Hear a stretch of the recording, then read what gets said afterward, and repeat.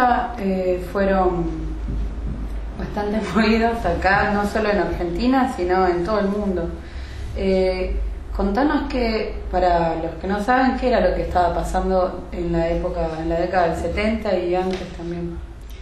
Bueno, como no, eh, a partir de los, bueno, tenemos los bombardeos de 55 primero, como hecho gravísimo en la historia argentina, después en la época de Onganía, el golpe militar de Onganía, en donde ya ahí se comienza una gran época de represión, este, a pesar de lo cual tenemos eh, el ejemplo del 69 del Cordobazo, ese extraordinario movimiento que llevaron adelante los compañeros sindicales eh, y acompañados por los compañeros eh, estudiantiles, el rosariazo, el viborazo, o sea, una serie de, de conflictos sociales más allá de los periodos militares que estábamos acostumbrados a vivir toda nuestra generación, ya que cada vez que votábamos, al poco tiempo, un gobierno democrático era sustituido por un golpe militar. Prácticamente nos criamos en ese ambiente, en esa, en esa Argentina, en donde había siempre estado de sitio, en donde había que problemas permanentemente para poder realizar, eh, hablar o llevar adelante tus propias ideas, había que tener siempre cuidado de todo. Y es en esos años en que empiezan a ver eh, puntualmente, no de una manera sistemática, en algunas manifestaciones hubo muertos, en algunas comisarías hubo muertos a causa de la tortura y hubo las primeras desapariciones desde el 67, 68, 69, 70 ya se empezaron a dar, pero como casos, eh, digamos, entre comillas, eh, individuales, particulares. Eh, en el ambiente era permanentemente de gran persecución y de gran represión. O sea, todo el mundo tenía una gran conciencia de clase, había desarrollado esa, esa generación, una muchísima formación política de muy jóvenes, o sea, ya a los 16, 17 años ya entrabas en alguna organización y tenías desde la extrema izquierda troquista, maoísta, eh, con diferentes grupos, porque se, había divisiones dentro de esos grupos, hasta gente del peronismo, el peronismo de izquierda, con distintos grupos. Este, era un espectro enorme y de muy, muy jóvenes eh, estudiábamos las distintas eh, libros de Marx, de Lenin, de Mao, de escuchábamos el Che con devoción que mantengo. Y, eh, y aprendíamos de lo que estaba pasando en la Revolución Cubana como ejemplo. Sabíamos los horrores y los denunciábamos de lo que sucedía con la política de Estados Unidos. Y todo eso eh, era llevado adelante por toda una generación de, que desde los grandes intelectuales, escritores, pintores, poetas, eh, que, hubo en, ese, en esos años, militantes sindicales, estudiantiles, eh, obreros, sabiendo todos que podían, cualquier de nuestras manifestaciones, actores, había muchísimos teatros independientes y sin independiente, eh, significaba cualquier, llevarnos las denuncias eh, las cuestiones que planteábamos, las cosas que se hacían, era, era suficiente para ser detenido.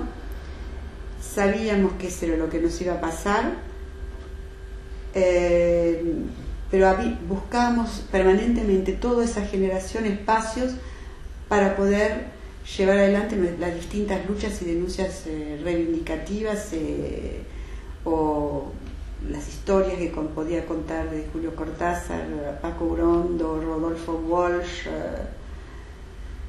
compañeros extraordinarios, Agustín Tosco, Di Pascuale. Es una generación que tendría que nombrar.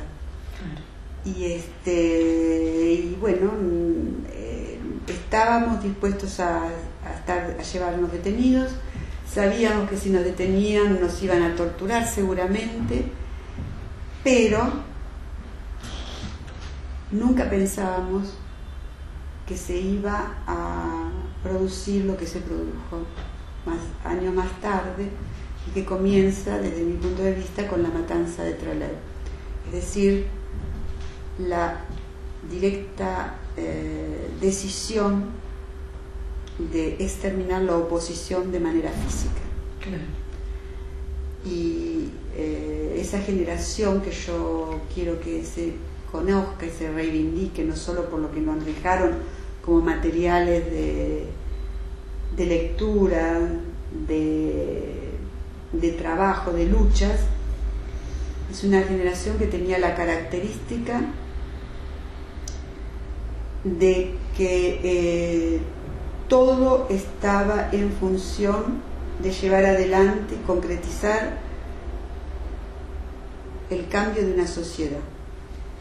Y en ningún momento se tenían en cuenta los intereses particulares y personales. Todo estaba dado y en función de concretizar esas luchas. Pensábamos que nosotros estábamos trabajando en nuestra militancia distintas a través de todo lo que yo les nombré para que nuestros hijos vivan en una nueva sociedad. Creíamos que estábamos por construir el nuevo hombre que lo llamábamos. Ninguno tenía, a pesar de poder pertenecer a distintas clases sociales, muchos de ellos eran estudiantes o compañeros que venían de clases sociales que podían tener un futuro lleno de tranquilidad para el resto de su carrera. Todo eso lo dejaron de lado, todos los compañeros, porque el ideal era concretizar el cambio de una sociedad. Y esa generosidad, yo creo que es propia de esa generación, que debe quedar como un maravilloso ejemplo para el resto de la historia argentina, porque creo que va a ser muy difícil que se vuelva a realizar que todo, que pueda haber tanta gente que dé su vida por sus ideales. Eh, a mí lo que me sorprende bastante, que a mucha gente le sorprende, es el, el las edades, que eran muy, pero muy jóvenes, como decían vos, y la convicción. Eh, ¿Vos por qué crees que, por, qué crees que, eso ocurría? Y ocurrió ahí y no, por ejemplo... En ninguna otra parte del mundo. Mm. Ese tipo de, de militancia que teníamos eh, no hay muchos parámetros en otras partes del mundo, porque bueno, es diferente, la, por ejemplo, en la Revolución Cubana, cuando ya se toma el poder y ese grupo se va ampliando con la sociedad que va, es otra historia, pero que durante todo todos esos años del 70 en adelante, pues, yo te digo, las, las luchas empezaban mucho, mucho antes. ¿eh? Yo empecé a militar en el 62 63 con eh, la, lo que se llamó la laica y la libre porque se quería instaurar la eh, educación religiosa en las escuelas. O sea, ya, ya a partir de, la escuela secundaria ya tenías una lucha a reivindicar y no era cuestión espontánea de salir atrás de una bandera, te tenías que informar, formar, estudiar y elegir el lugar que vos querías estar. Claro, claro. ¿Y cómo fue? Bueno, empecemos ya a hablar de, vos, me dijiste recién que empezaste a militar con lo de la laica y la libre. ¿Cómo fue tu, tu experiencia personal? De, ¿Estabas en la escuela y y bueno, hubo un movimiento en ese momento por la laica y la libre que atravesó todas las escuelas secundarias de Argentina porque eh, eran los que estaban con, la, con una eh, cintita violeta éramos de la laica y los que estaban con la cintita verde era la, libre y era una lucha por impedir que la religión católica sea impuesta en todas las escuelas del Estado. Bueno, yo lo que lo que digo es que ahí empieza a, tomar una, la conciencia de una realidad que, atravesó todas las escuelas de Argentina y que muchos de esa generación empiezan a esas épocas. Y después, este, a medida que, terminas la escuela secundaria y vas hacia otras, a las universidades, a otros estudios u otras actividades y bueno, te ibas acercando a un grupo o a otro. ¿Y vos por qué camino fuiste? Yo estaba ligada al Partido Socialista,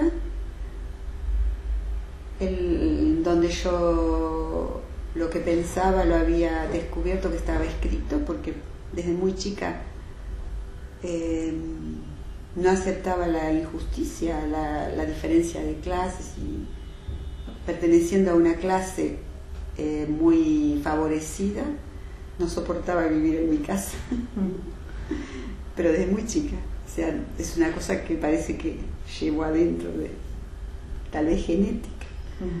Y este y soy hija de inmigrantes que nunca hablaron de esa generación de que llegó de inmigración en Argentina y se instaló en Argentina a fines de los años 1970, eh,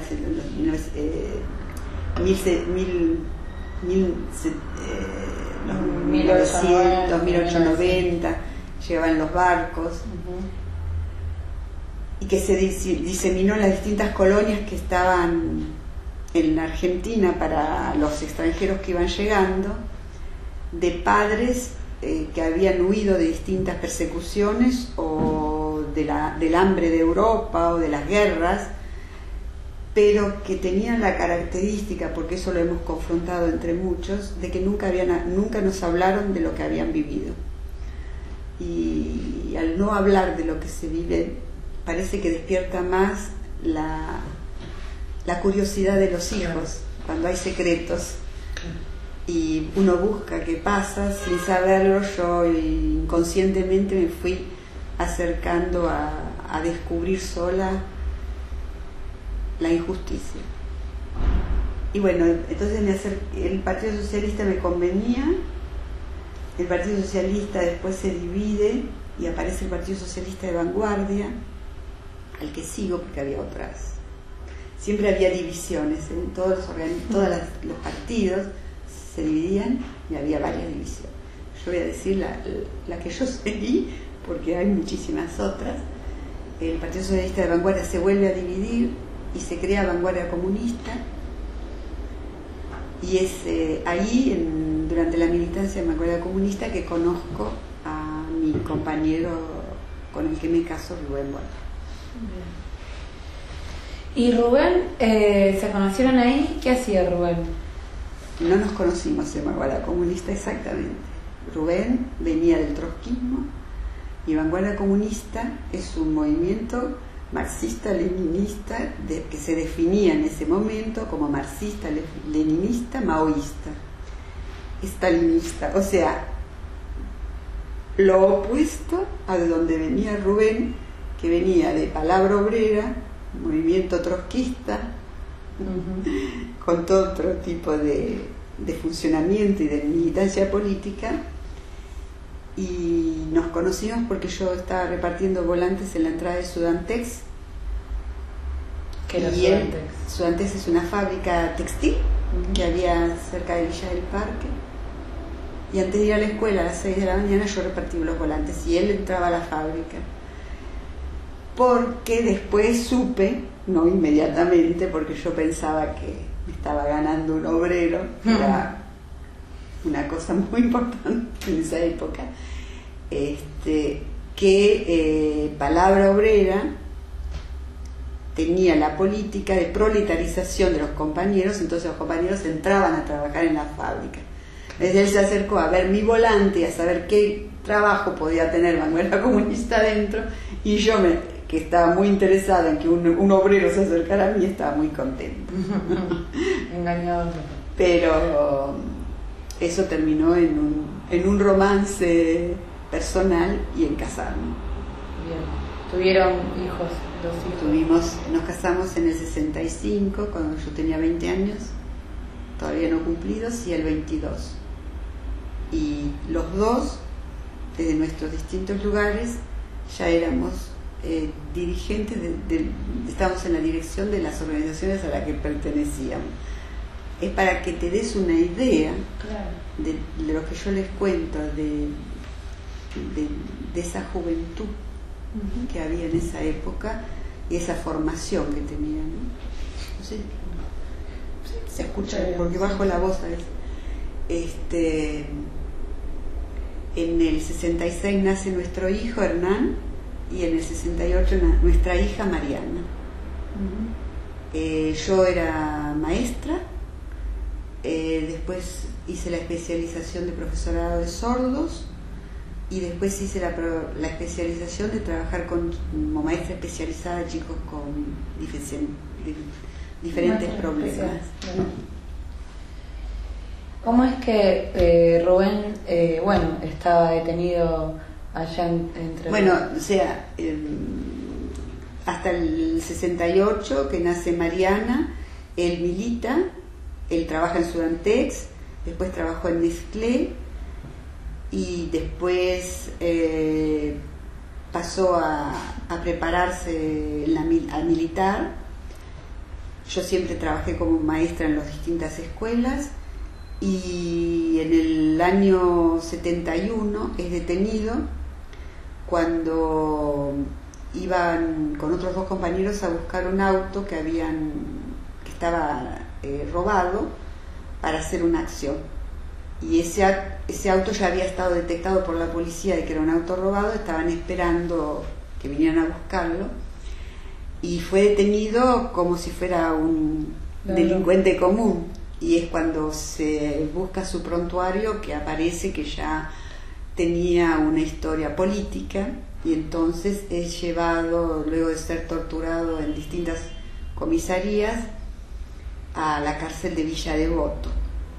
O sea que desde el año 71, porque eso pasa en principio del 71, eh, yo lo voy a ver a la cárcel con Hernán y Mariana, que le explicaba que era un castillito donde vivían los tíos y las tías y todo eso, porque eran muy chiquitos. Claro. ¿Y él en qué agrupación estaba en ese momento ya? Él forma parte de los fundadores del Partido Revolucionario de los Trabajadores. Ahí en ese momento. Eso se forma a partir del año 69-70. Está el Partido Revolucionario de los Trabajadores, que eh, era un, grupo que se forma, que viene evolucionando del trotskismo, y él forma parte del PRT.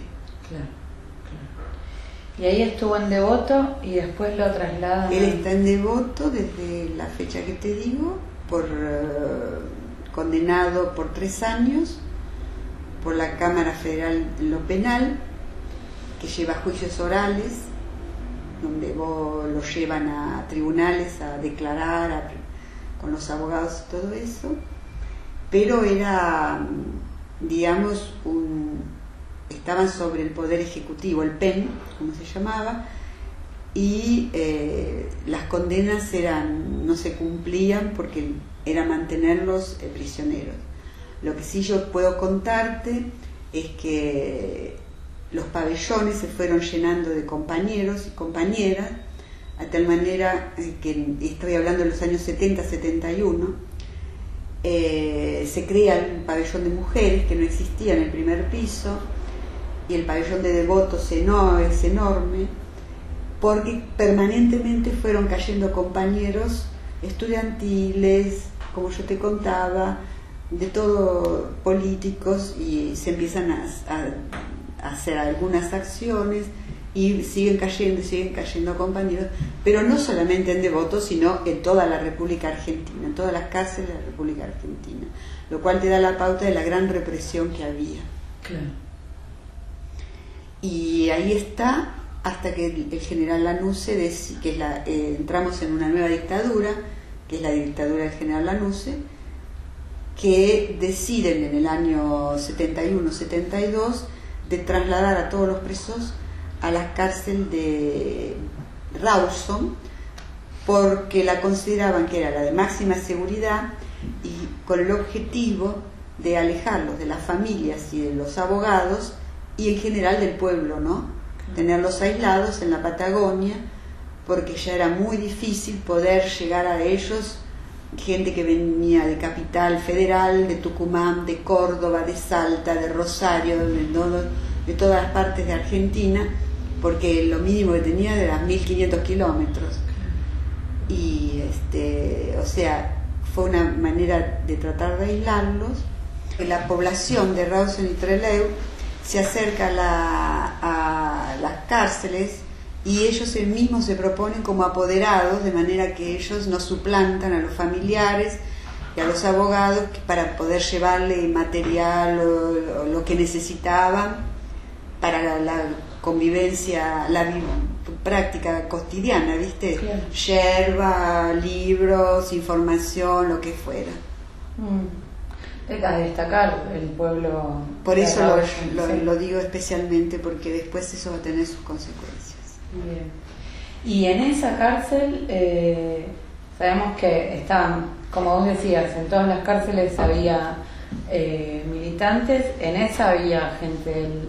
en esa cárcel habían llegado de todas, de todas las cárceles, de diferentes cárceles del país, y estaban compañeros dirigentes de todas las organizaciones políticas y sindicales y estudiantiles, y había más o menos 500 en el momento y, eh, y, ellos empiezan a buscar la manera de preparar una fuga. Hay una película que explica muy bien eso, que es la película que realiza Mariana Arruti, donde ella explica todo cómo va sucediéndose los hechos, hasta que la tratan de concretizar el 15 de agosto del 72. Y en, esa, en ella participan eh, después de grandes discusiones, de muchísimo trabajo, de unidad, de, llegar a acuerdos, eh, se llega al acuerdo que Montoneros, FARC, Fuerzas Armadas Revolucionarias y ARP, Ejército Revolucionario del Pueblo, se unan más allá de sus diferencias políticas, porque eran dos organizaciones peronistas con una organización marxista, pero que era más importante llevar adelante una lucha en común que separados. Y reivindican su fuga como un acto de todo el grupo, de los tres grupos. Y es por esa razón que lo organizan de esa manera. Y en ella se, se organiza un primer grupo, que son los máximos dirigentes de todas las dichas organizaciones, que son los seis primeros, los 19 cuadros que vendrían en orden después y el resto de los compañeros que salían luego, que aceptaban la, idea de la fuga. En la cárcel participaron de manera material a preparar la fuga cientos de compañeros y después ellos mismos decidían si iban a la fuga o no. Y por ejemplo, el ejemplo de Agustín Tosco, que él acepta, él está totalmente de acuerdo y apoya, pero decide no, no salir con los compañeros porque él quería que lo dejaran, eh, sea la lucha social que lo liberara.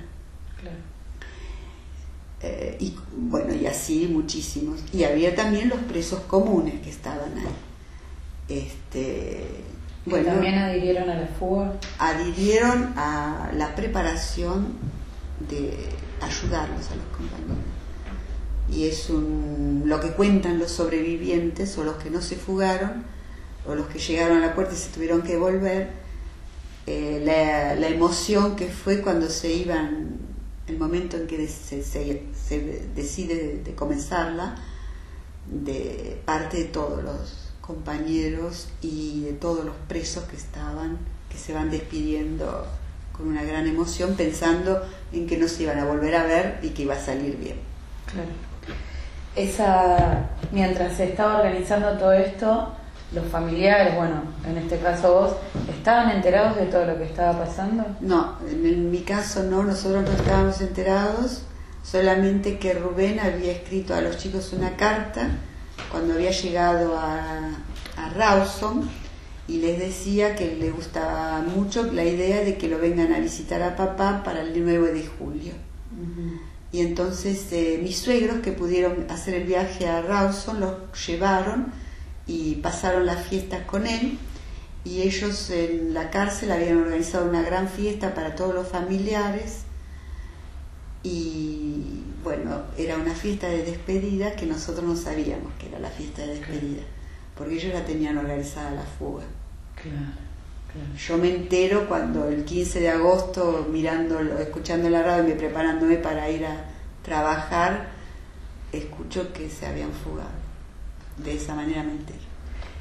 ¿Y vos, de qué manera, qué, qué era lo que podías hacer? Eh, teniendo en cuenta el contexto de represión, eh, vos a miles de kilómetros, ¿cómo fue tu reacción y qué es lo que podías hacer para...?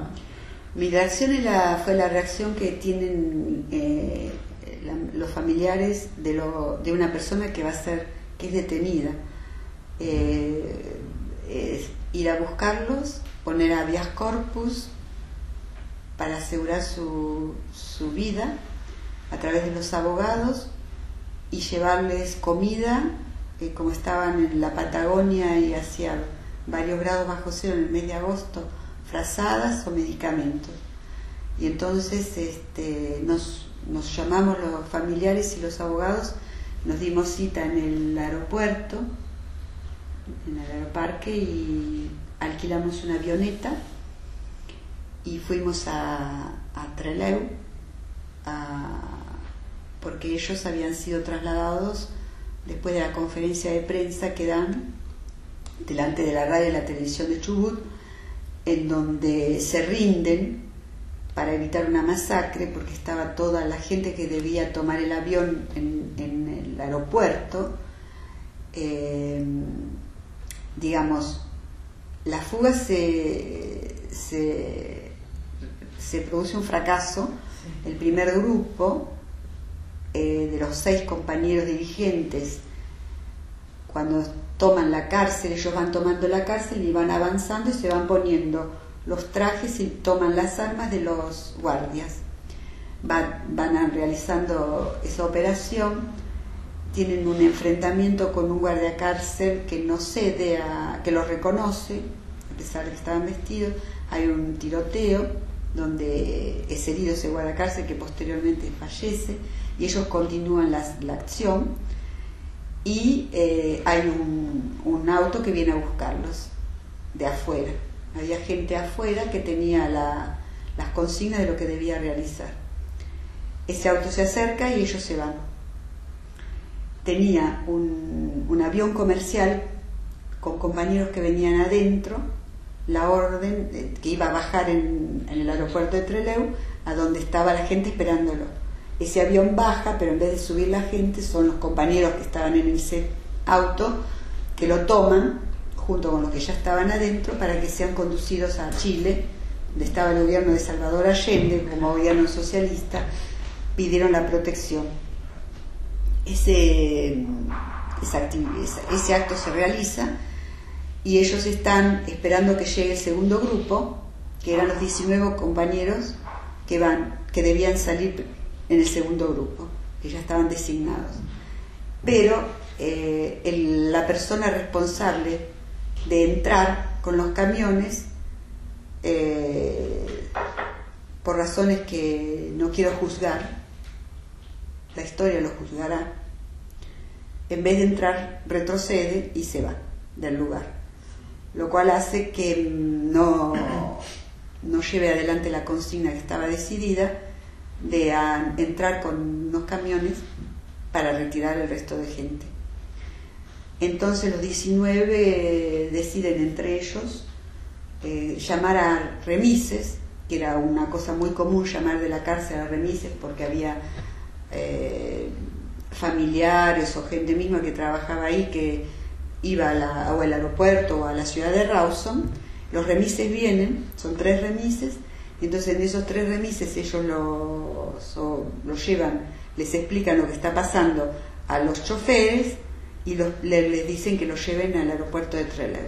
Pero ya estaba pasando tiempo. Pero entre que se llaman los remises, que se esperan que entren los camiones, que los remiseros eh, llevan al, llegan, ya el avión tenía un periodo determinado de espera, porque si no también ellos iban a ser tomados por las Fuerzas Armadas, y se van. Entonces ellos están despegando cuando ellos llegan al aeropuerto, por lo cual ellos toman el aeropuerto con las armas, porque ellos estaban todos con armas, y son 19 chicas y muchachos que están ahí.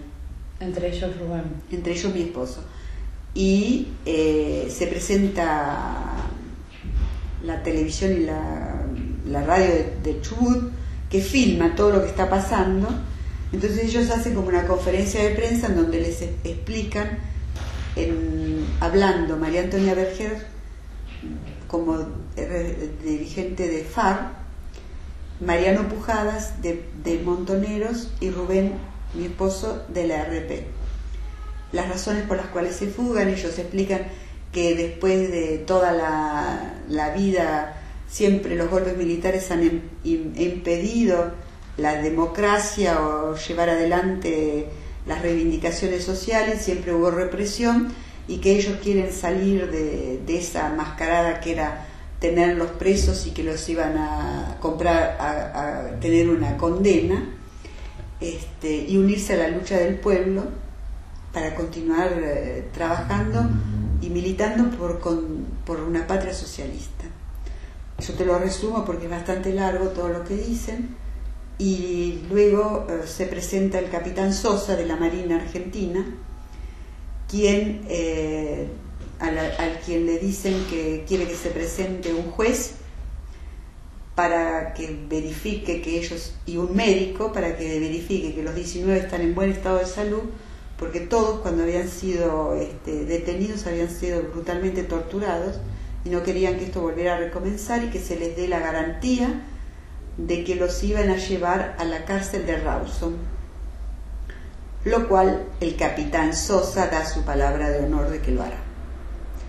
Entonces, ellos, que estaban con las armas, estaban rodeados por la marina para evitar que las 100 personas que estaban en el aeropuerto, chicos, hombres, mujeres, estaban esperando civiles, una masacre, deciden, como acto extraordinario de guerrilleros, de, hombres que estaban decididos a la lucha, rendirse para evitar esa masacre. Y esa es la foto que ustedes vieron que pasa la historia, en donde ellos están todas las armas y están ellos. Y eh, los conducen en un, en un colectivo eh, donde en vez de llevarlos a la cárcel, como era la, la palabra de honor de la Marina Argentina a través de Sosa, a la base Almirante Sar. Entonces, cuando nosotros llegamos, la población de Rawson y de Trelew, como todo el resto de la Argentina, estaba toda dividida en zonas militares. Después que pasa la fuga de Trelew, estaba la Argentina en zonas militares y eh, decretado el estado de sitio por lo cual se podía poner estar más de tres personas juntas y una ley particular por la cual la 17.791, algo así, eh, no se podían hablar, ni escribir, ni filmar, ni difundir nada relacionado con los hechos de Trelew.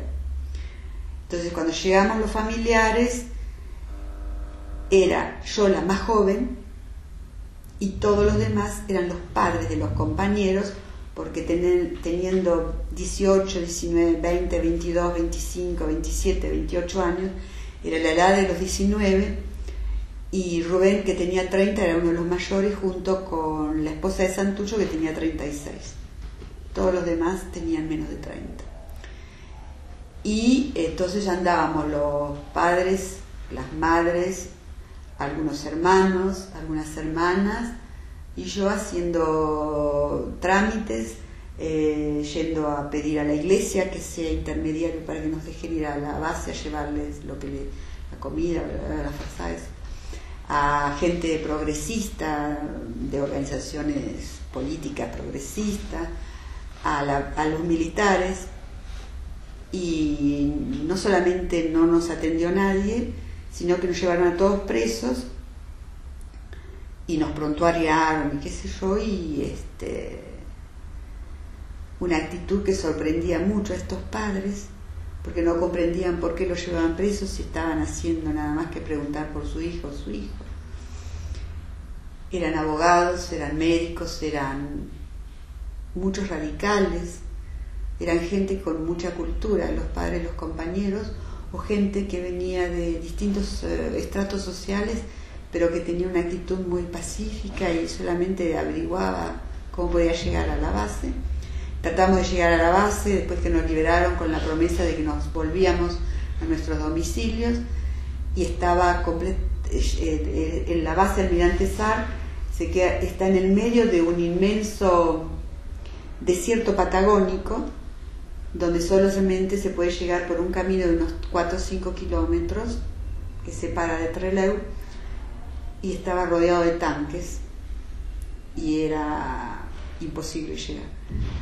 Este, entonces, en un momento dado, como yo era correctora en la revista Nuevo Hombre y en la revista Liberación de los textos, tenía carnet de periodista, entonces los familiares se quedaron en el, cuando nos liberaron en Rawson, en el hotel, y yo me fui a la radio y a la televisión, y como periodista dejé que era la esposa, la periodista, me dieron los compañeros periodistas las fotos de la conferencia de prensa, las cintas de la conferencia de prensa, y después este, le llegaron a Raimundo Gleiser que filmará eso y hará el fin no olvido ni perdón.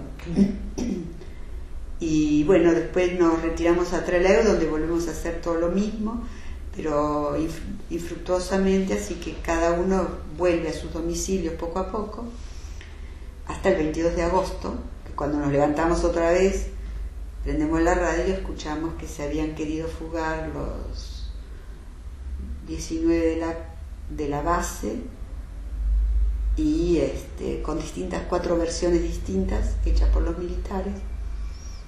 General Betty da una, el Mezquijada da otra,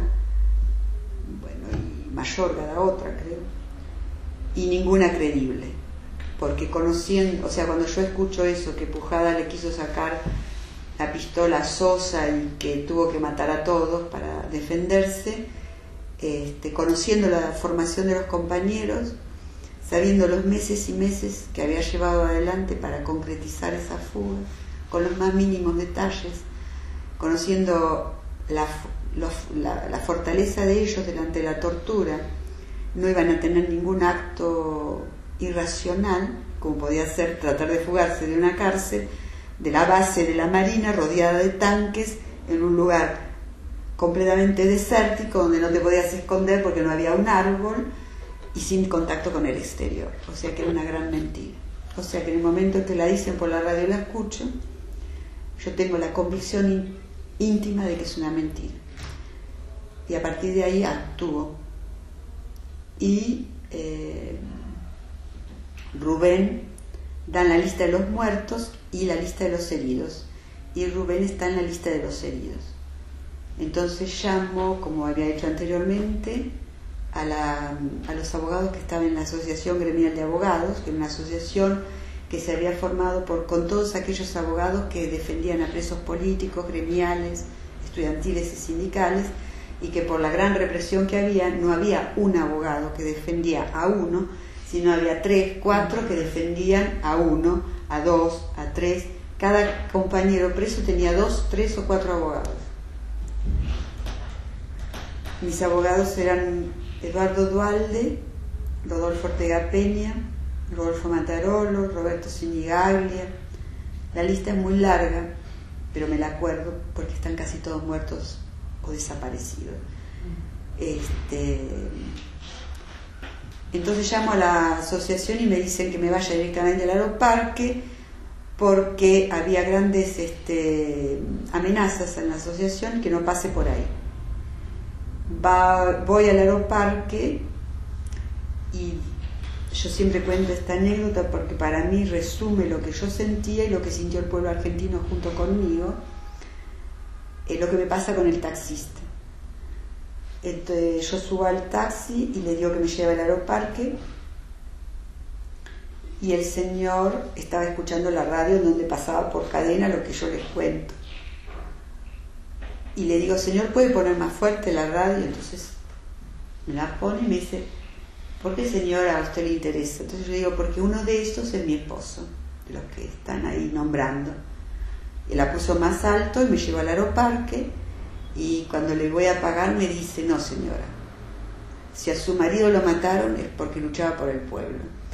Y eso que el Señor ese resume en el mismo momento en que está pasando la matanza de Trelew, es lo que sintió yo personalmente, pero todo el pueblo, porque empezaron a ver en toda la Argentina manifestaciones espontáneas por la masacre, que ya se decía masacre, antes de saber los hechos y con toda la represión porque estaba toda la Argentina militarizada. O sea, me quedó como el símbolo de, lo, de, la realidad del pueblo, ¿viste? De lo que sintió el pueblo. Y efectivamente así fue. Entonces yo tomo una avioneta con los familiares que iban a Rawson a buscar los cajones y a mí me bajan en Bahía Blanca porque era donde trasladaban a la base naval de Bahía Blanca, al, al hospital de Bahía Blanca, a los heridos. Me viene a buscar un abogado y en el viaje en la radio anuncian que a las 3 de la tarde más o menos era que el número 16 era Rubén. Entonces en el, vamos hasta el hospital y ya nos dicen que ahí nunca había llegado, o sea que habían, lo habían matado en Trelew. Y eh, vuelvo a viajar al aeroparque a Buenos Aires porque me dijeron que ahí iban a llegar su cajón. Entonces vuelvo a buscar a mis hijos, que yo les había explicado que papá con los tíos y las tías habían peleado con los policías y que yo iba con otros tíos y otros abuelos a llevar curitas y mejoralitos para ver si los podíamos curar. Eso le digo antes de viajar. Cuando vuelvo los, a, los llevo conmigo porque a Rubén, en vez de llevarlo a Capital, a donde estábamos viviendo, lo llevaron a los lugares de nacimiento, a los compañeros, y los dispersaron en toda la Argentina de manera de evitar la, las movilizaciones que se estaban dando. Entonces yo tenía que viajar a Pergamino, donde era el lugar de nacimiento de Rubén, y ahí voy con Hernán y Mariana, que eran chiquitos, y les explico que no los pudimos curar y que papá está muerto. Entonces este, me, me preguntan cómo es la muerte, dónde está papá ahora y yo les explico lo que no sé, que no sé lo que voy a encontrar porque de la manera en que se sucedían los hechos no sabía qué es lo que iba a pasar, qué es lo que me iban a dar, si me iban a dar un cajón, quién estaba dentro, en qué estado, no tenía la menor idea de nada lo que estaba pasando. Yo les hago un cuentito más o menos para que ellos pudieran comprender la situación dentro de los límites de la edad que tenían Mariana tenía cuatro años y Hernán cinco. Y, este, ellos hacen los dibujos como, en el, como habían dibujado siempre, con su papá se intercambiaban dibujos. Y eh, efectivamente cuando llegó a Pergamino, los padres de Rubén habían tenido la obligación de firmar un papel de la, de los militares por el cual el cajón debía ser enterrado a las 8 de la mañana de ese mismo día, a lo cual yo me opongo y eh, decido que se haga un velorio en la casa, llevo los chicos a la casa de la familia Pujals, que eran amigos de la familia nuestra. Entre tanto puedo decir que en el año 71 Luis Pujals, el amigo y compañero de toda la infancia de Rubén, fue asesinado en una comisaría en Rosario, detenido en Buenos Aires y asesinado eh, por la tortura en una comisaría y más tarde a Susana Gallero, que era mi amiga y su compañera, que salíamos de novio los dos, las dos parejas juntas en Pergamino, la mataron eh, en un enfrentamiento en una casa donde estaba reunido el compañeros de la organización. El nombre de Susana Gallero era Laura y es por ella que mi hija que tengo en la clandestinidad se llama Laura. Eh, bueno, sigo con la historia de Treleu. Eh, se realiza el velorio al que asiste muy poca gente porque había que tener mucho coraje. Y bueno, hay coronas del Partido Comunista, del Partido Socialista, del Partido Peronista y, le, le, pone la bandera del RP encima y los dibujos que hicieron Hernán y Mariana yo los pegué con escorzo el cajón. Y luego lo trasladamos a la morgue, donde lo dejo en la morgue, porque yo le digo al comisario, que era el representante en pergamino de, los militares de Rosario, que estaba bajo sus órdenes, que no lo voy a enterrar hasta que no abra el cajón porque yo quería identificarlo. Y entonces este, se producen ciertos problemas graves, porque estoy sola haciendo todo eso, por una decisión personal, que es lo que sentía que debía hacer, y estoy rodeada de militares que me tratan de intimidar y como no lo logran y sigo manteniéndome rodeada de ametralladora sola delante del comisario que yo no, me, no lo iba a enterrar hasta que no lo abran, se sigue comunicando con el jefe de la base de Rosario y qué sé yo, y me dan una cita para que vuelva a las 2 de la tarde. Entonces a las 2 de la tarde yo me había entre tanto conseguido un abogado y un médico para que me acompañara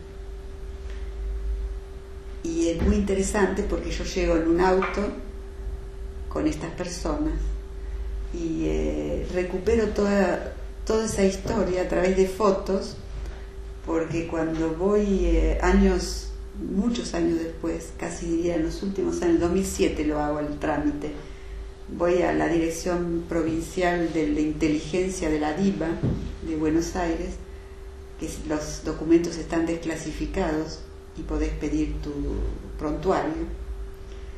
Tenían toda la foto de todo lo que iba pasando en el cementerio, todo, y recupero todo lo que estaba haciendo. Ellos, este, los servicios de inteligencia, lo estaban filmando, mm. fotografiando. Así que quedó para la historia todos esos hechos. En definitiva, lo que sucede ese día, en ese momento, es que el comisario da la orden de que se retiren todos ellos y me dice que me lo van a abrir a condición de que entre sola, cosa que hago. Entonces entro, veo el cuerpo de Rubén, lo, lo, escribo en un papel lo que veo, que yo nunca había visto una persona herida de balas, y describo los lunares como una especie de lunares que veo en su cuerpo, los hematomas que tiene, y la cabeza destrozada. Y entonces eh, me retiro y me vuelvo con los chicos a Buenos Aires. Y en Buenos Aires me entero de que los tres compañeros que estaban siendo velados en el Partido Justicialista, María, Antonia, María Angélica Sabelli, Ana María Villarreal Santucho y Jorge Capelo, eh, Eduardo Capelo, habían sido abiertos por los compañeros los cajones y este, que después hubo una represión terrible. Me entero cuando vuelvo. Y los demás compañeros fueron trasladados a los distintos lugares de nacimiento, como contaba, y en todos los lugares hubo manifestaciones, en todos los lugares hubo represión y en casi todos los lugares los padres hicieron abrir los cajones y se constataron el estado de los cuerpos. Una consulta. El... Acá veo como bastante accionar de los familiares, eh, bueno, como decías, de los padres. Y las organizaciones políticas de, las que pertenecía cada, cada persona, eh, ¿qué acción tomó? No, no, no, no había una organización para todo eso. Fue como tan imprevisto todo lo que sucedió y teniendo en cuenta que los principales dirigentes estaban en Chile cuando pasa la masacre y ellos se enteran allá de lo que estaba pasando, los otros estaban muertos y los otros estaban en la cárcel de Rawson donde había comenzado una atroz represión contra todos ellos, los compañeros que estaban al exterior no estarían suficientemente preparados, organizados para, para eso y lo, nosotros íbamos haciendo con los abogados lo que nos parecía lo más lógico para hacer en tales circunstancias para saber la verdad. Eh, en el caso mío yo lo hice por propia iniciativa y después eh, lo hacen todo. De una manera o de otra eh, se abren la mayoría de los cajones de los compañeros, de manera legal o ilegal. Lo que hago luego es que en el mes de septiembre, en la primera semana de septiembre, inicio juicio a las Fuerzas Armadas Argentinas contra el Estado Nacional por el asesinato de mi esposo. Y eso en el 72 era bastante, eh, diría que no era habitual hacer una cosa así. Pero, no sé por qué razón, el juez que lleva el caso ordena inmediatamente la autopsia, por lo cual traslado los restos de Rubén a la morgue judicial junto con los abogados y todo un despliegue policial que se hace para traer los restos. Y médicos, los médicos legistas de la, de la morgue judicial describen en términos científicos lo que yo había observado y entonces los lunares eran la entrada de balas de ametralladora dadas de posición de pie, como están descritas, tenía una en el brazo, una en el, hombro cerca del pecho y una en el estómago, eh, de origen de ametralladora y a, larga, a una gran distancia. Son descritas, no mortales y luego describen con, eh, en posición horizontal en el piso, eh, de arriba hacia abajo, un tiro de una pistola 45 a corta distancia que entra por la oreja y le atraviesa la cabeza, lo cual se llama tiro de gracia. Eh, eso yo lo obtengo a la semana siguiente, 15 días después de Trelew. En tanto, los, en la masacre logran sobrevivir tres de los 19 que estaban condenados a la muerte por la decisión de matarlos que tenía la Marina junto con el gobierno de las Fuerzas Armadas Militares. Eh, no lo logran por circunstancias que no se pueden bien determinar, los tres eh, salen de, de la formación que les obligan a tener para ser fusilados, pero están en fila y son los últimos de la fila, así que cuando ven que van cayendo todos los compañeros y compañeras y ya habían tenido otros intentos de fusilamiento, pensaban que era una más de lo que les hacían hacer todas las noches intento de fusilamiento, vejaciones, humillaciones, insultos, estaban desnudos, eh, cuerpo a tierra, eh, acompañados al baño con cuatro oficiales que les apuntaban con las ametralladoras, con el sin este, tener trabado las armas. Ese era el cotidiano entre el 16 y el 22. Entonces que, pensaron que era una más. Hasta que se dan cuenta que todos los primeros están, salta la sangre y los gritos. Entonces ellos se tiran de vuelta, que son Aidar, Camps y María Antonia Berger, a las celdas y eh, escuchan, se hacen los muertos y escuchan que se terminan los disparos de ametralladora y empiezan a disparos de, de pistola 45 y las voces que dicen este todavía está vivo y un disparo, este todavía está vivo y un disparo. Hasta que se acercan a ellos Bravo, Sosa y otros, que ellos los describen pero no tienen el nombre, que sería Marandino, Herrera, Del Real y Marshall, y este y les disparan tiros de tiros con pistola a, con y Aidar están juntos. Aidar recibe un tiro cerca del pecho y le, perfora un pulmón, pero no pierde conciencia. Eh, con está muy mal herido. En la otra celda está Camps con Delfino. Le tiran a los dos y Delfino muere en el momento. Y Camps recibe un disparo y él se mueve y le atraviesa cerca del estómago, eh, cerca del corazón, pero no justo, más abajo.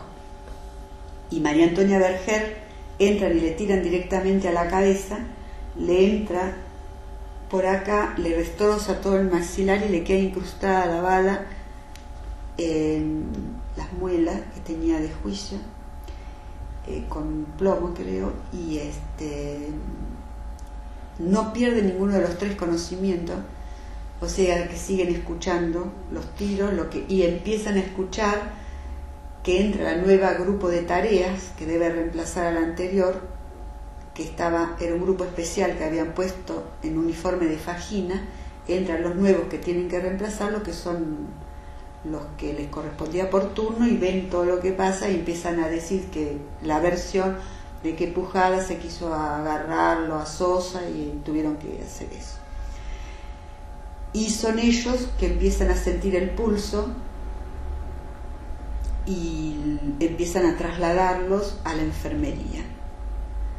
Eh, a María Antonia Berger está en la misma celda que, em,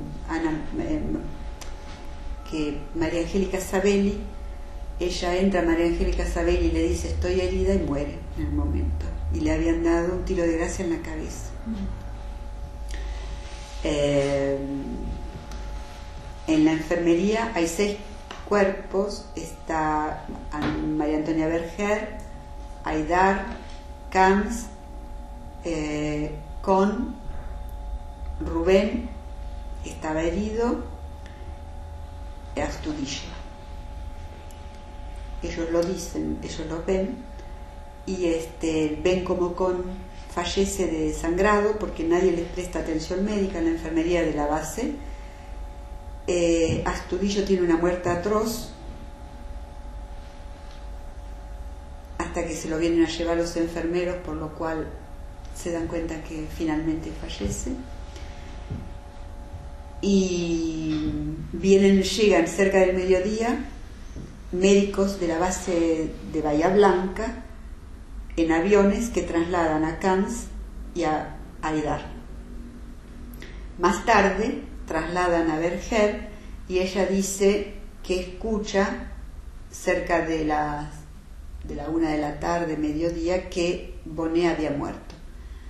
A Berger la trasladan y eh, lo que queda para la historia es que a Rubén, mi marido, lo vinieron a matar, en vez de trasladarlo con los otros heridos, lo vinieron a matar a las 12.55 del mediodía con ese tiro de gracia que los médicos constatan. O sea que este, lo ametrallaron dos veces. Y esa es la pauta simbólica de la matanza de Trelew. Porque ese era el objetivo, matarlos a todos. Sin contar que con los médicos de la base de, de Bahía Blanca, inmediatamente hacen los primeros auxilios desde el avión ya a los tres sobrevivientes, los cuales serán interrogados inmediatamente por la Marina cuando llegan a la base. María Antonia Berger tiene una traqueotomía además y no puede hablar.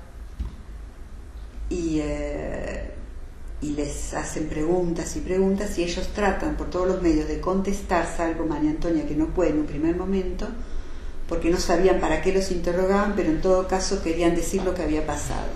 Y era uno de los asesinos que está siendo juzgado, que es Pacanini y Bautista. Pacanini era el que estaba responsable de la base y Bautista es el que los interroga este, y que está en la lista de los que están condenados a crimen de lesa humanidad. Eh, una vez que están un, poco mejor, los trasladan a la enfermería de Villa Devoto. Y es ahí donde el mes de octubre se constituye el tribunal, por orden del juez, que sigue mi caso, en donde me constituyo yo también con mis abogados y son interrogados de manera individual los tres sobrevivientes que estaban hasta ese momento. Eh, incomunicados, con vigilancia rodeados policial y cuentan de manera individual en distintos momentos exactamente cómo fue eh, los sucesos de Trelew, junto con dibujan un mapa de dónde estaban las celdas, quién estaba en cada uno, dónde estaban las ametralladoras y quiénes habían participado. Mm. Todo eso este, lo firmo yo, lo firman él, yo estoy presente y, todo esto me va a servir para el juicio donde declaro. Pero este juicio del 72 que yo inicio se continúa y eh, se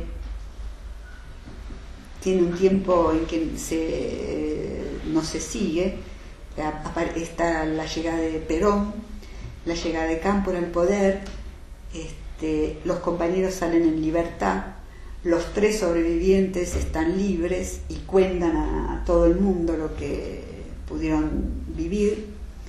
Se continúa el juicio, pero en el 74, con las 3A, la Alianza Anticomunista Argentina, creada en el gobierno de Isabel Perón, luego de la muerte de Isabel, de General Perón, López Rega y todo el grupo de la extrema derecha peronista, eh, junto con los militares, forman grupos parapoliciales y paramilitares que asesinan a personas que tienen determinadamente decidido anteriormente. En esa lista están los familiares de Trelew y los abogados de Trelew.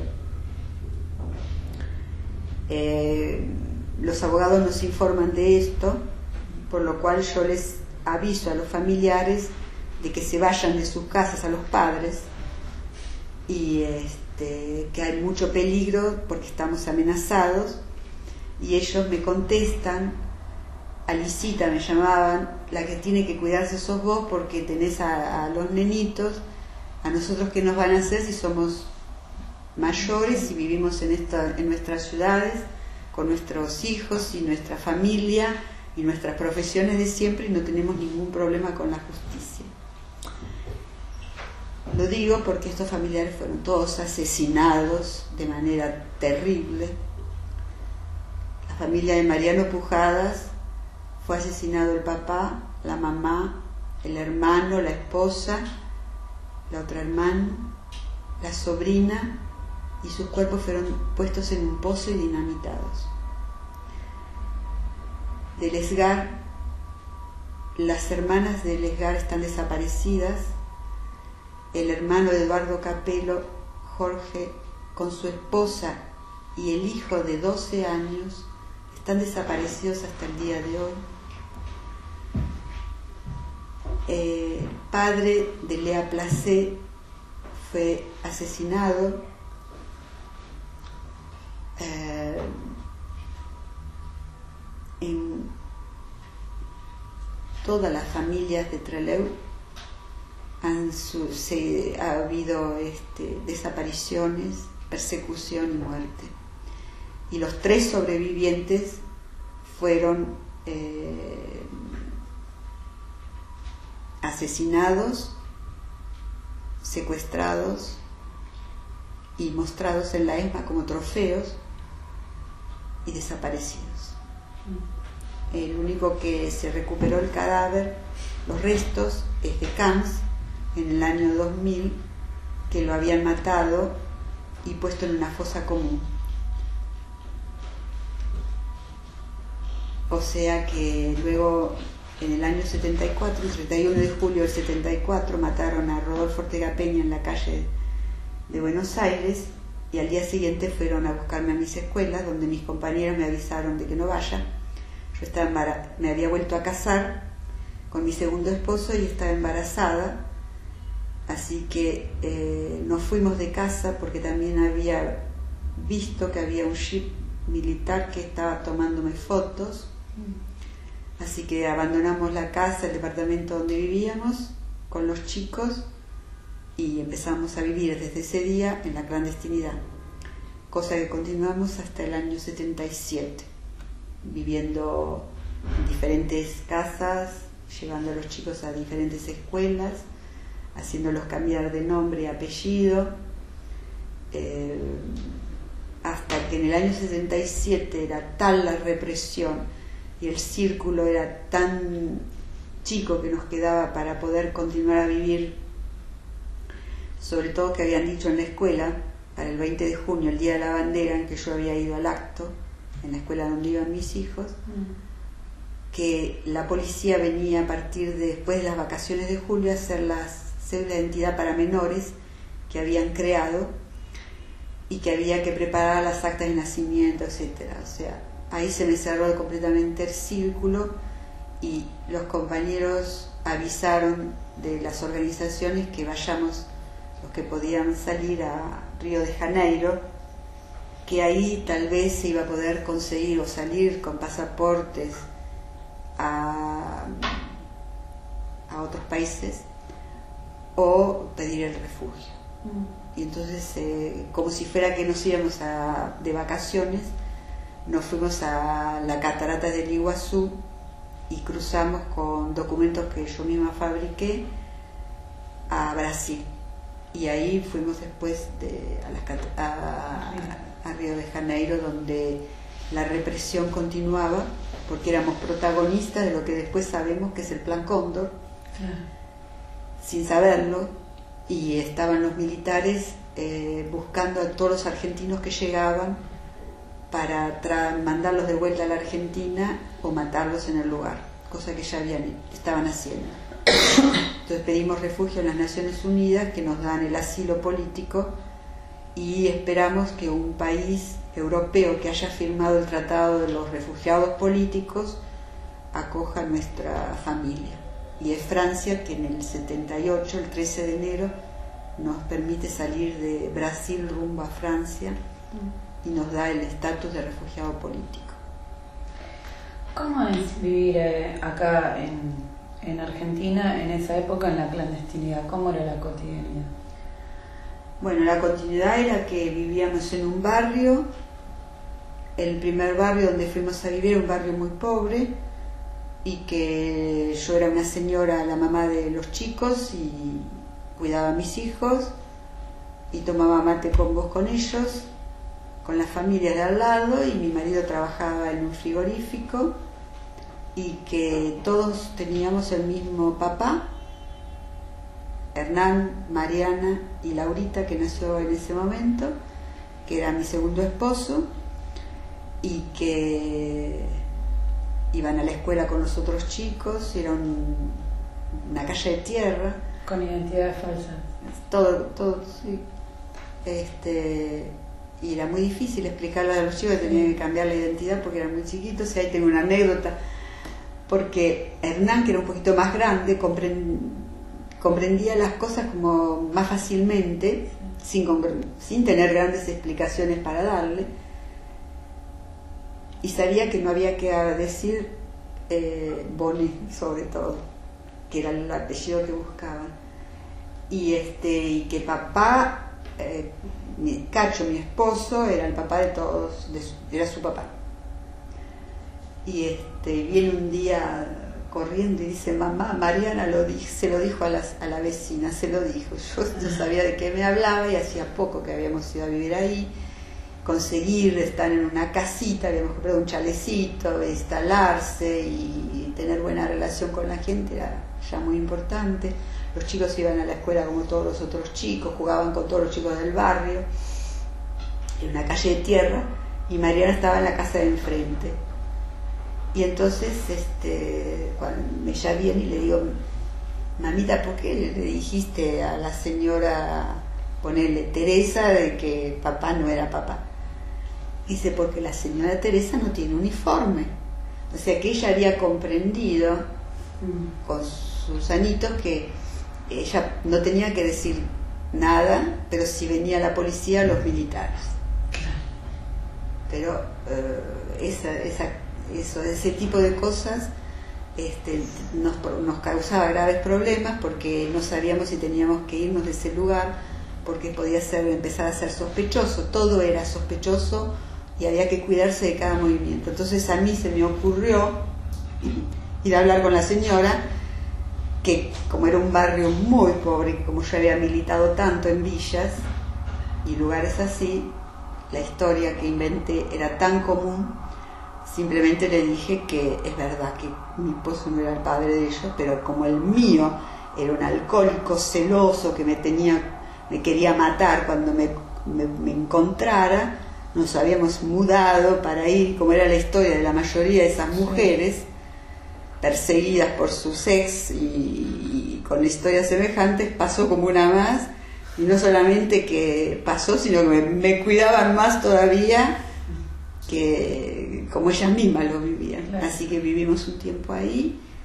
Ahí vinieron a vivir otros compañeros que estaban buscados, que eran como si fueran mis primos o mis tíos o algo así hasta que tuvimos que volver a irnos porque ya había pasado un tiempo y podía había habido reuniones importantes en ese lugar y la casa podía ser sospechosa, así que nos mudamos nuevamente y así fuimos mudándonos de lugares cada vez que nos parecía que podía ser instintivamente algún movimiento o algo sospechoso, mm. hasta que nos fuimos del país. Mm. Y era muy cómico también cómico entre comillas, porque la familia, por, por diferentes razones, no porque estuvieran ligadas a, una militancia o a la historia de Trelew, este, se, había, se iba la gente, mucha gente que se podía ir, se iba al exterior, y de mi familia se habían ido una prima y dos hermanas a vivir al extranjero, una porque había ganado una beca por, eh, eh, una beca por estudios, otra porque había decidido irse a vivir a Europa, este, y me dejaban en esa casa, me daban todo lo que no se podían llevar. O sea que yo tenía tantos platos, tantas cacerolas, tanta ropa, tan... los chicos tenían tantos juguetes y libros y todo como nunca uno se podía imaginar. Pensando que cada vez que nos mudábamos perdíamos todo, porque nunca nos íbamos como cerramos la puerta y nos íbamos para no levantar sospechas.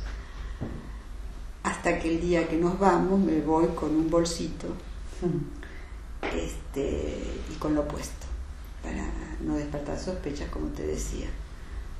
O sea, habrán encontrado una casa llena de cosas. Llena de juguetes, llena de platos de todos los colores. Y el juicio, el... bueno, vos lo habías comenzado al Estado bueno, te tuviste que ir. Sí. ¿Cómo continuó eso?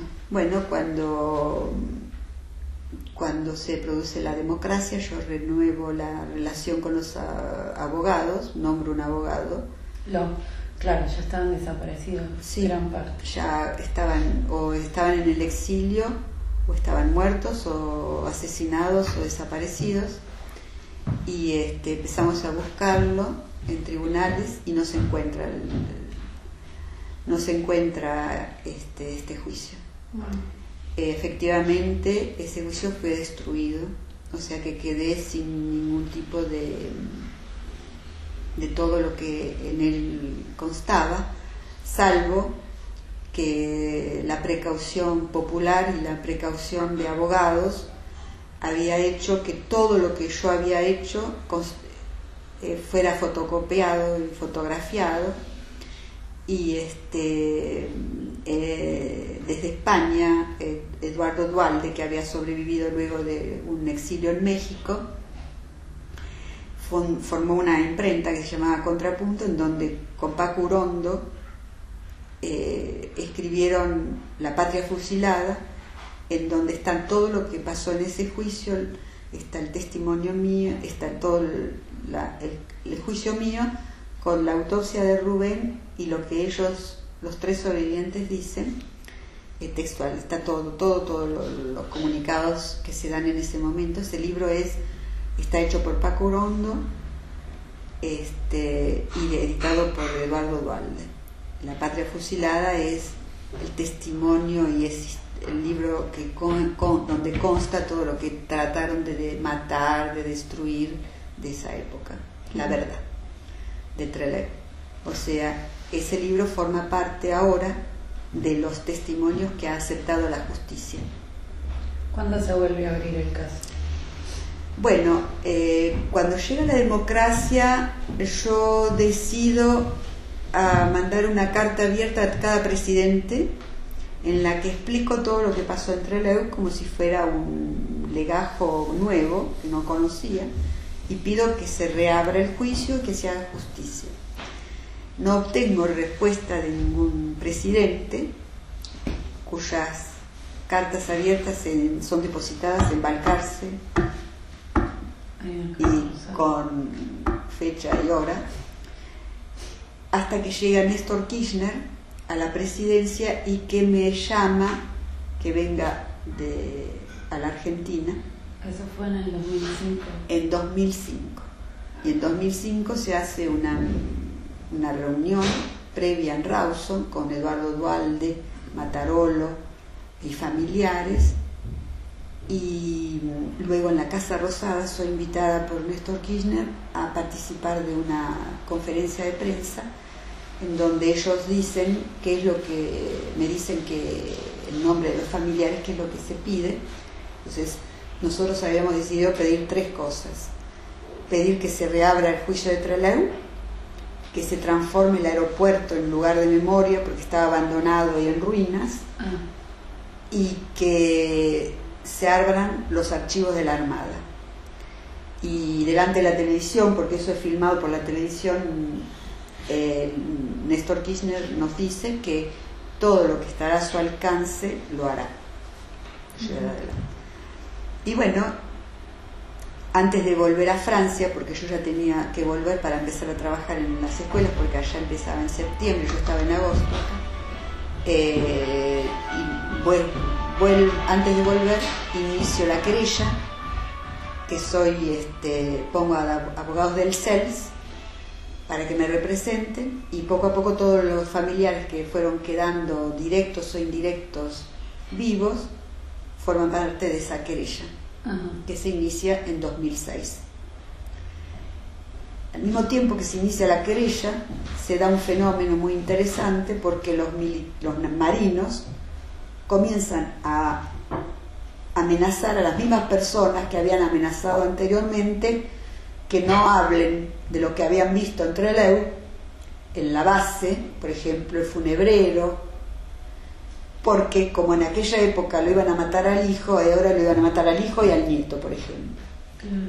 Y esto lo denuncia la gente, y gente que está trabajando en la base Almirante Sar denuncia que están haciendo inteligencia. Y entonces la ministra del Interior, Nila Garré, se hace un allanamiento de la base Almirante Sar por lo cual quedan detenidos y procesados y actualmente se está haciendo el juicio por, la, por los espías de inteligencia de la base, porque nunca dejaron de hacer inteligencia a pesar de la llegada de la democracia hasta la fecha. Y es de esa manera que también se obtienen archivos de la Armada, porque cuando se llevan los computadoras y archivos, antes que ellos los destruyan, se logran recuperar archivos de la Armada. Así que ya vemos cómo avanza. Y estos están procesados todos, detenidos y procesados, los autores de la, del Servicio de Inteligencia de la Armada, de la base, y el juicio se lleva adelante, continúa hasta que se decreta que como juicio oral y eh, la Corte Suprema de Justicia lo considera como crimen de lesa humanidad, por lo cual imprescriptible, como práctica del terrorismo de Estado, que se considera que se pone en práctica el día 22 de agosto de 1972 con la masacre de Trelew. Y el 17 de mayo de 2012 soy nuevamente, por esta vez citada, no, perdón, en 2007 soy nuevamente invitada por la Secretaría de Hechos Humanos, por Eduardo Dualde, para estar presente en la inauguración del aeropuerto de Trelew como aeropuerto de la memoria, lugar de memoria, donde vengo con mis hijos y mis nietos. Y ese día yo declaro delante del juez Astre, que es el que lleva la causa y todo lo que les estoy contando lo explico con muchos detalles más este, al juez. Eh, y en 2012 se inicia el 17 de mayo, el 7 de mayo de 2012 se abre el juicio finalmente a 40 años de Trelew, en donde el, 17, el 18 de mayo he declarado todo lo que les estoy contando delante de los asesinos que están libres en este juicio, porque el tiempo en que fueron detenidos fue este, pasó el límite del proceso de no, no, no se hizo el juicio, por lo cual quedaron libres. Así que los tengo a mi derecha en libertad, paseándose por las calles de Rawson y de Trelew, como si fueran con la apariencia de hombres este, muy bien vestidos. Uno los podría cruzar en Villa Madero, en Puerto Madero, y parecerían grandes señores de la sociedad, pero en realidad no pertenecen a la a la humanidad. Son asesinos en serie, seriales, porque nunca dejaron de actuar desde, desde, desde Rawson hasta la ESMA, pasaron, estuvieron en todos lados, jactándose de ser los que iniciaron los asesinatos en Trelew. Entonces, este, bueno, ahora están declarando muchísimas personas. Yo fui la primera en declarar y van a seguir durante todo el mes de mayo junio este, declarando muchos testigos y luego a ver los alegatos y finalmente la sentencia que como les dije a los jueces antes de terminar mi, mi declaración, les dije que ellos estaban escribiendo una página fundamental de la historia argentina y que sus nombres aparecerán cualquiera sea la decisión que tomen. Si la decisión que toman sea la de acuerdo a la ley de condenar a los asesinos como crímenes de lesa humanidad a la prisión a perpetuidad, ese día, los familiares de Trelew que quedamos vivos, enterraremos a nuestros muertos con paz y dignidad. Y si así no fuera, seguiré luchando. Y así terminé mi declaración. Se habla del caso de Trelew. Pero, y es muy significativo el, toda la gente que estuvo ahí. Eh, no se habla pero no se conoce tanto. Mm. Eh, ¿Cuál sería la manera para seguir hablando de esto? Vos hiciste todo un trabajo el resto de tu vida. Mm, eh, yo desde, desde, la, desde la clandestinidad mandé cartas a los maestros como docente explicándole, porque como yo tenía la verdad de lo que había pasado, enseguida que, enseguida que tuve la verdad de los, lo que hicimos con los abogados cuando salimos de la cárcel de Devoto, que los sobrevivientes hablaron, lo transcribimos con mimeógrafo, había en esa época, y lo escribimos todo, y fuimos a las universidades, a los sindicatos, a los cualquier lugar donde había gente y fuimos denunciando la, masacre de Trelew. Desde la, desde la clandestinidad mandé cartas a los docentes argentinos diciéndole lo que pasó para que a los alumnos digan la verdad de la historia argentina.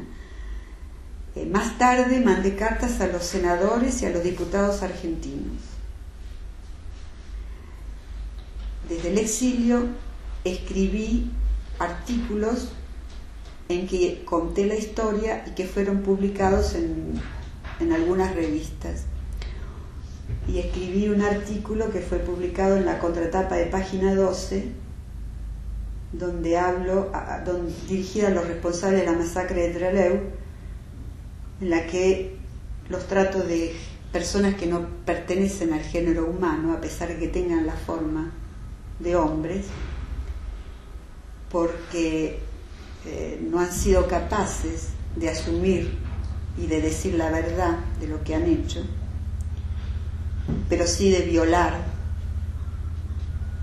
de maltratar, de destruir el cuerpo, porque no destruyeron las almas ni la convicción de todos los 30.000 compañeros que después tiraron al mar. Para eso sí tuvieron coraje, pero no para decir la verdad. Entonces, lo, eso esa carta también salió publicada y se los dije en la audiencia, no los tenía ahí al lado. Por lo cual yo, hoy en 2012, estoy sobre un sistema de seguridad que me puso el ministro del Interior, porque la que tiene que estar protegida soy yo y ellos están libres. porque lo único que no les enseñé a mis hijos era el odio y la venganza. Les enseñé el amor y la justicia y el respeto. Pero ellos no siguen teniendo el mismo odio que, que cuando decidieron llevar adelante todos esos actos. Bueno, eh, yo pienso que hay planes en el Ministerio de Educación y espero en donde se explique la historia tal como fue escrita, con la verdad y todos estos hechos se conozcan. Yo creo que todo lo que podemos hacer es lo que estás haciendo vos a través de todo este medio, lo que hago yo que es transmitir la memoria para que los jóvenes sepan, para que nunca más vuelva a pasar y porque es la única manera de construir una sociedad futura que tenga un futuro en el mundo civilizado. Lo que sí les puedo decir es que viviendo en el exterior, eh, Argentina se transforma en este momento en un ejemplo para el mundo porque es el único país que juzga a sus propios represores, a pesar de que no han pasado todavía todo lo que corresponde, a pesar de que hay montones que andan sueltos, a pesar de que los juicios son lentos, y yo soy, estoy bien en el lugar para saber que son lentos, a pesar de todo, es un modelo del mundo, porque no hay otros países se los juzga en su propio país y se los condena a la perpetuidad por crimen de lesa humanidad. Para eso hubo que crear la Corte, la Corte Internacional donde se lo lleva fuera de sus países y un juzgado internacional lo juzga. Y la Argentina, gracias a las madres de Plaza de Mayo, a las abuelas de Plaza de Mayo, a los organismos de derechos humanos y a todo el pueblo que lleva adelante y acompaña y ha forzado en algunos momentos que esta lucha se sepa, y a todos los exilados que llegaron vivos y sobrevivientes que contaron, a todos ellos se le debe hoy que se haga justicia en Argentina. Y eso es un pueblo maravilloso.